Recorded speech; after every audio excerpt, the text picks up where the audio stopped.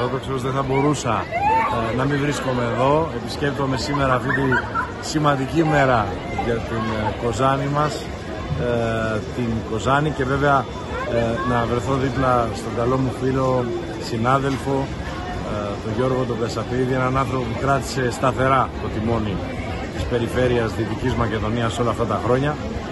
Είμαι εδώ και ως Δυτικός Μακεδόνας γιατί η καταγωγή μου είναι από τον Ιφαίο και με ενδιαφέρει ο τόπος μου να παραμείνει σε σταθερότητα και τροχιά ανόδου. Άλλωστε και ως πρόεδρος της Ένωσης Περιφερειών Ελλάδος αλλά και ως πρόεδρος των Ευρωπαϊκών Περιφερειών είδα τη σημαντική συμβολή του Γιώργου του Κασαφίδη και συνολικά της ομάδας του εδώ στη Δυτική Μακεδονία.